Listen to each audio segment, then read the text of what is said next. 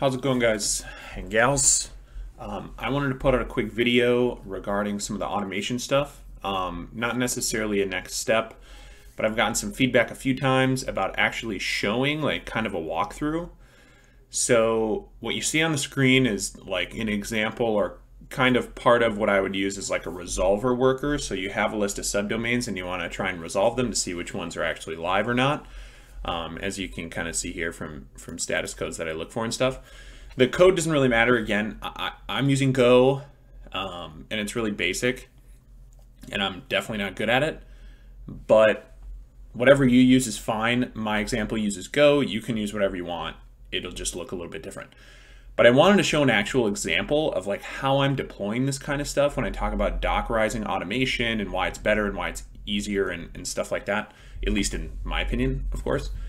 But the first thing is, again, this is just like a super simple, I have a few libraries I made here and whatnot, but it's super simple. Basically, all it does is send some Discord uh, messages to my server that it's going to start, um, runs two checks on two different tables of subdomains that I have, prints out a duration, and, and again, I think part of these will print to the screen any new domains that get resolved. Real simple stuff doesn't really matter. The code doesn't really matter. What does matter is I make this Docker file to go with it. This one, sorry. I make this Docker file to go with it. So this is what will actually Dockerize it um, going forward. I use DigitalOcean to do it because I want to put it in the cloud, but you can use this anywhere. You can use like Google Cloud, um, Linode, like anything you want to. I'd maybe avoid AWS because I think they have rules against like pen testing and stuff on their network um, or from their stuff. But this is really simple. All we're basically doing is you're saying like from the Golang Alpine image, that's going to be our builder image. Because in Golang, you can build things into a binary and then just use the binary. You don't need like Python and that kind of stuff. You don't need the extra stuff from the library, the compiler, or anything like that with it to run it. It just turns it into a runnable binary. Especially on Linux, it's super easy. So I have an Alpine Golang image as a builder. I'm adding Git so I can pull code if I need it down the road. Um, some of my other images use it, some of it don't. I just add it in just so they're all really similar in my head.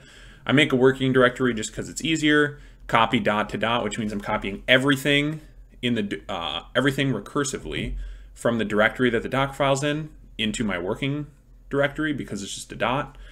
And then I'm running go build, which just builds it into a binary. I really don't even care what the binary is because it's the only binary on this Docker. So I just call it hello here, for instance. And then since it's a multi-stage build, stage two will just complete the final environment. And it just uses a, a straight Alpine Linux distribution. It's not even the Golang one anymore. It's just a very small, very lightweight uh, Linux image and I put some stuff on there that I might need. Again, make a working directory, copy in my resolvers that I might need.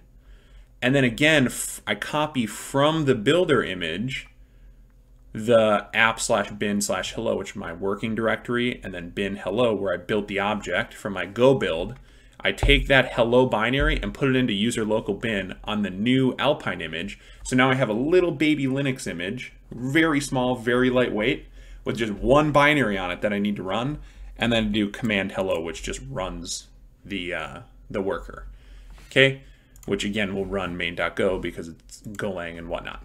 So I'm basically just your basic Docker file, and all I do is I have one built here, and I go into um, the resolver worker here. But again, what it would actually look like, I built, I have two built right now. I keep bringing them up and down while I work on them and, and build new ones and whatever. But basically what you would do is it would look like is you would go over here. Uh, I pull mine from GitHub. It can be from really whatever. You can build it yourself into an image and try and push it to the registry if you want to do that too. Um, or Docker Hub or whatever. I just pull it uh, right from my GitHub. So you select a repository. I have a few other ones here, but subdomain worker, resolver worker. So I pick this one, branches, whatever. Auto deploy or not, that's up to you. You go to the next. Um, again, it's going to see two things because it sees my code. It's trying to decide like, do you want to build from the Docker file or do you just want to build right from like Golang as a web service? So I'm going to delete this one and use just the Docker file. I'll edit it. And I don't need it to be a web service. It explains a web service as an always running service that is internet accessible. I don't need it to be that. I need it to be a worker, which just runs in the background and it's not internet accessible. So that's fine with me. Uh, when I save it, it'll take away the HTTP port and all those options and just give me a run command. If you need one, great. If you don't, which I don't, because I have it in my Docker file to just run right away on build, so I don't need a run command after the build. If you would rather do it there, you can. Um, so that's good. You name it, you know, resolver worker demo, demo, if I can type. There we go. Um, I'm gonna go back. Right here, you can edit the plan. So this is how you can decide like, oh, what size of a, of a VPS you need it on and that kind of thing. And it tells you your monthly cost. So you can do, you know, 20, you can do five, whatever you want. Um, you can also scale your containers here if you want to. You can either do that in the Docker file or you can do it here. So you can decide how many containers you want. You can go back.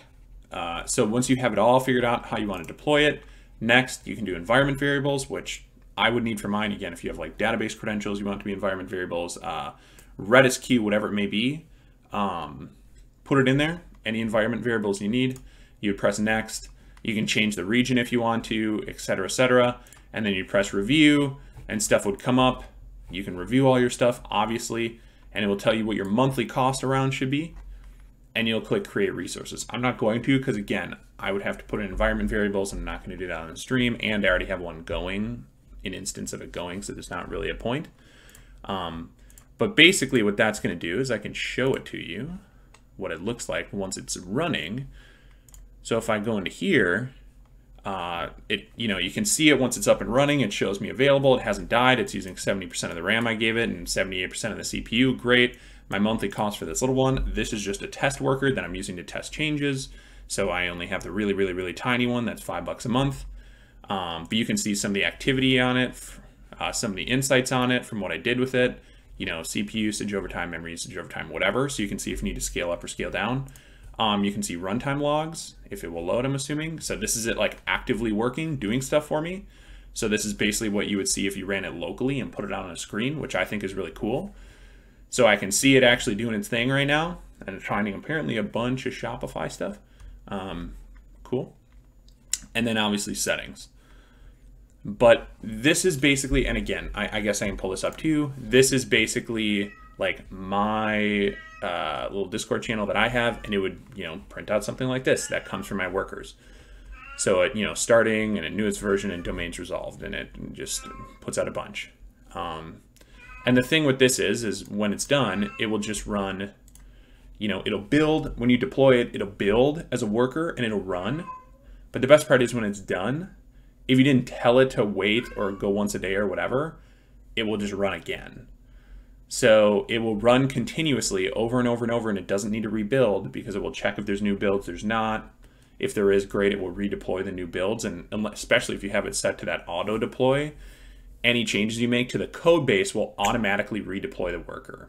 It'll kill the old one, redeploy the worker. So it's really nice to have auto deploy, in my personal opinion, if you're doing it this way.